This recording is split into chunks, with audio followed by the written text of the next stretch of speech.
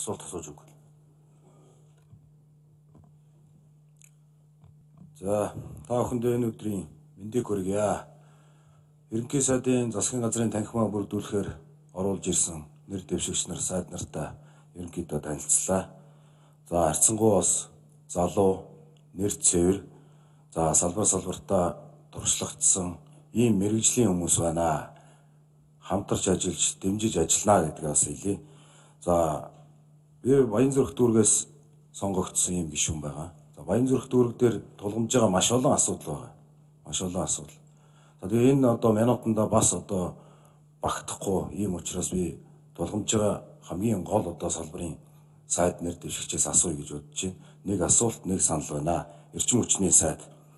Монгол Ардын намын мөрийн хөтөлбөрт эрчим хүчний салбарын чиглэлээр орсон одоо маш олон асуудлууд байгаа. За түүн дотроо одоо энэ 21-р 100 гарчаад байхад манай энэ Баян зүрх дүүрэг дээр ялангуяа одоо дарих шараад алтан үлгий гэж нэрлэл заншсан Баян зүрх дүүргийн 221 27 дугаар хороо 9 17 дугаар хороо одоо 21-р 100 гарчаад байхад үнэндээ тоггүй захилгаангүй усгүй удаггүй ийм айлууд маш их бий.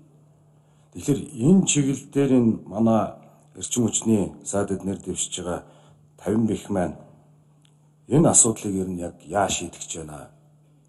Сонгуулийн үе төхөөл ирдэг. За сонгуулийн үе төхөөл ирэхлээр нэг шоу үйдэг. Нэг ийм ажилтай.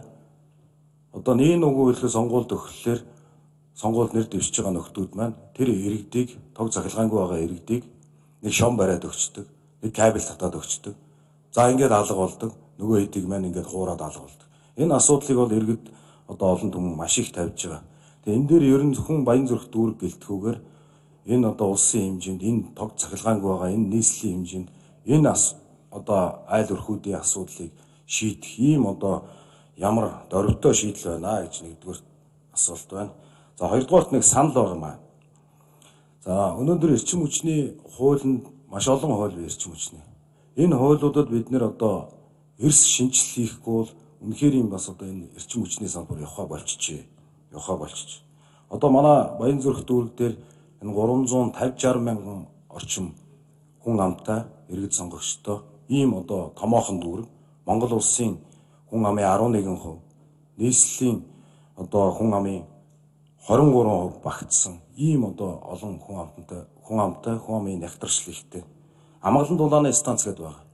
Мөрийн хөтөлбөрч орсон байна. Амгалан дулааны станцыг өргөдөх ажлын хүрээнд одоо хийх ажлууд байгаа. За тийм болохоор Энэ асуудал дээр эрчим хүчний сайд нэр дэвшиж байгаа 50 бихээс бас одоо санал өгж байгаа маа. Хог хаягдлыг дахин боловсруулах энэ үйлдвэр барих за үүнээсээ одоо цаашлаад эрчим хүчээр хангаж ажиллах энэ одоо зөвхөн төсвийн мөнгө хараад суудаг биш олон улсын хувийн хвшлийн байгууллагуудын төсөл хөтөлбөрт одоо хамрагдаж ажиллаж энэ одоо эрчим хүчний салбарынхаа одоо хууль эрх зүйн шинжилгээг хийх шаардлагатай байгаа шүү. Тэгээд дэмжиж байгаа амжилт хүсье. За баярлалаа. Эрчим хүчний сайд нэр дэвшсэн 50 бэх асуултанд хариулна. Гүшүүдтэй энэ өдрийн мэндийг хүргье. За Улаанбаатар хотод цахилгаан хангамжтай холбоотой хоёр асуудал бий. За нэгдүгээрт нь тулгымцсан асуудал бий. Нэгдүгээрт нь бол цахилгаан эрчим хүчинд холбогдоогүй хэрэглэгчнэр байна. Тэрний дийлэнх нь бол гэр хоолд амьдардаг ахуй хэрэглэгчнэр байна.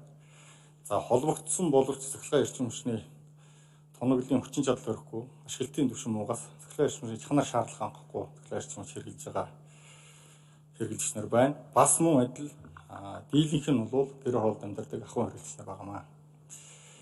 За өнөөдрийн үн тарифын хэмжээнд тусгай зөвшөөрөл эзэмших компаниуд энэ шинжилтийн энэ шаардлагатай хөрөнгө оруулалтын ажлыг хийх санхүүгийн хүсэр багт байгаа. Тэгэхээр энэ цахилгаан эрчим хүчний чанарыг сайжруулах за цахилгаан эрчимд холбогдоогүй хэрэгжигчдийг холбох хөрөнгөний асуудлыг бол улс нийслэл дүүргийн төсөөс шийдэх боломжтой. Тэгэхээр энэ чиглэлээр л одоо гишүүдтэйгээ хамтарч ажиллана.